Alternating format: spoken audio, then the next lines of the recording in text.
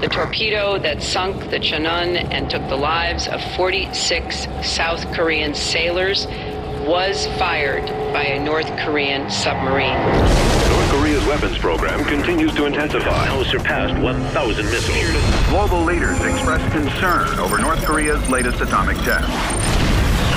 Kim Jong il's government strongly defended its recent atomic test as a rightful response to Western aggression The president appeared at the UN to call for severe sanctions against North Korea. This morning comes the news of Kim Jong il's death. North Koreans greet their new supreme leader, Kim Jong il's son, Kim Jong un. 우리 공화국의 통일은 남한과의 한민족을 갖고 올 것이며 경제와 산업의 발전을 갖고 올 것입니다. Today, our beloved leader, Kim Jong un, has united North and South Korea, forming the Greater Korean Republic. Talks to end the Saudi-Iran war have stalemated once again. Meanwhile, damaged oil wells and pipelines burn uncontrollably, deeply affecting world supplies.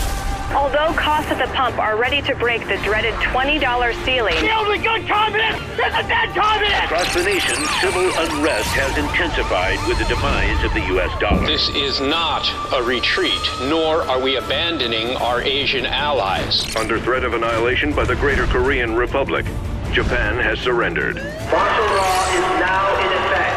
Excessive force will be used. Hours after the president ordered a freeze on bank withdrawals. We don't know where we will get our next meal from.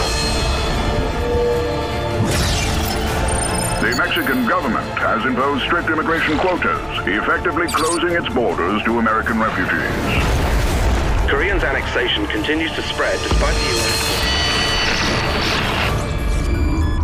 Today, the Greater Korean Republic launched their latest communication satellite, claiming it will bring a message of peace to the entire world.